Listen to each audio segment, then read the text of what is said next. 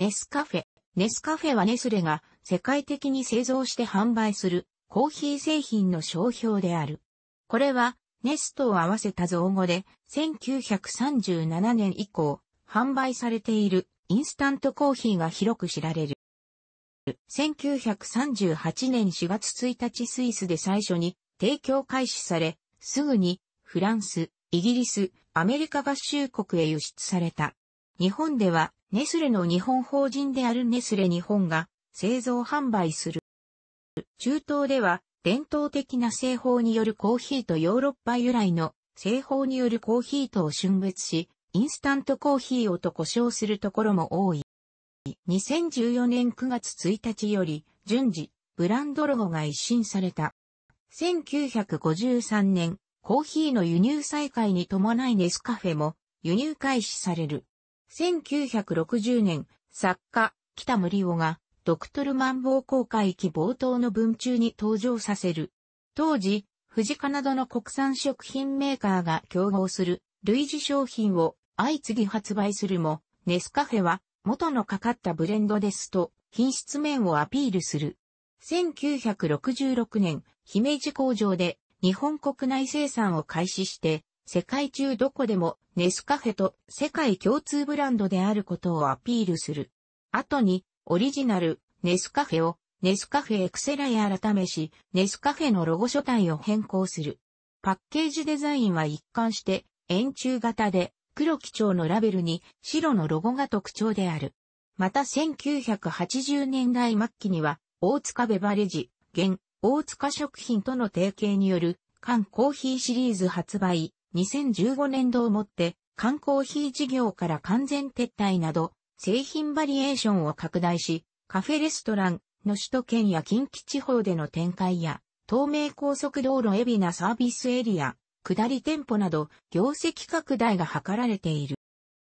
2018年10月現在1967年、日本での販売を開始する。ネスカフェの上級ブランドで、欧州諸国では1965年に発売済みであり、当時は最高の抽出技術とされるフリーズドライ製法で作られた商品である。エクセラの黒色キャップとラベルに対し金色のキャップとラベルを採用し、CM では違いがわかる男のゴールドブレンドのキャッチコピーとともに各界著名人を起用してブランドイメージ高級感を醸成させている。キャッチコピーは1990年代以降、上質を知る人のイカ同文と違いを楽しむ人のネスカフェゴールドブレンド、太字部分追加が用いられ、2010年以降は24年ぶりに違いがわかる男並びに違いがわかる人が復活している。使用曲は小田和正出演時に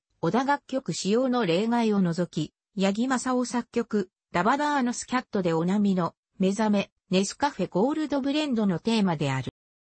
エクセラ同様、製法とともにパッケージデザインも丸みを帯びた直方体からほぼ完全な直方体へ変化している。カフェインを97%カットした商品名カフェインレスの赤ラベルもラインアップしている。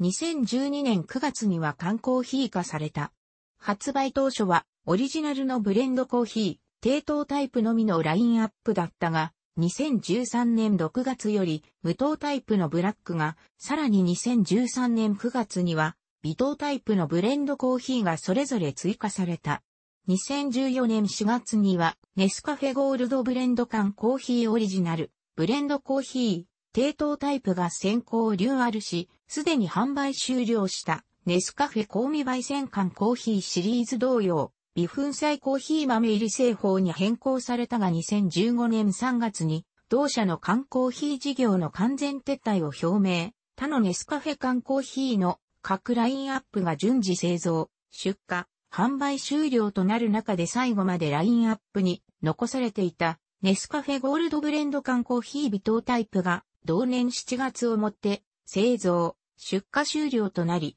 最終的に同年10月をもって名実ともに販売終了となった。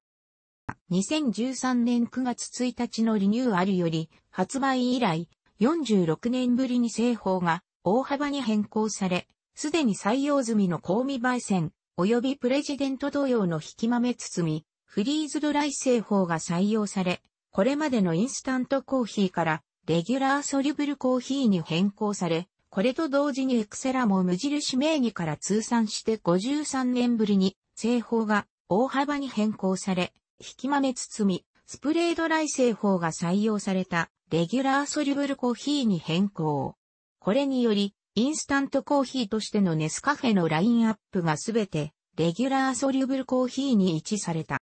2015年9月1日より、横展開商品として新たに、オリジナルのゴールドブレンドよりさらに濃厚な味わいを実現したゴールドブレンドコク深めを追加発売した。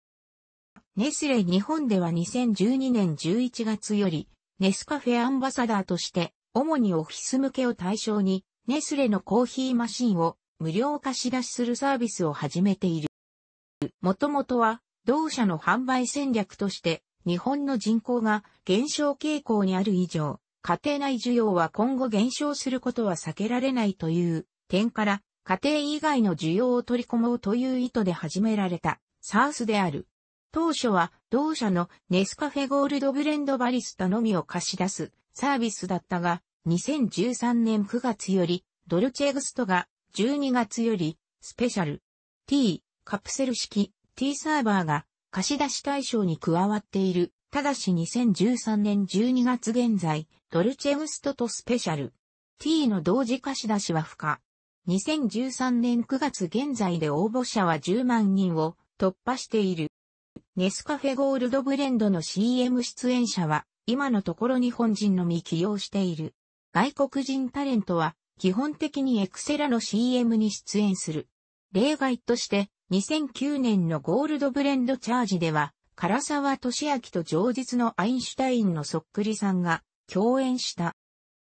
ネスカフェの CM ソングで使われた洋楽の中にはオリジナルの歌詞の一部をネスカフェに変更し CM ソングとして放送されていたものもある。ネスカフェ名義で提供しているもののみなし。楽しくご覧になりましたら、購読と良いです。クリックしてください。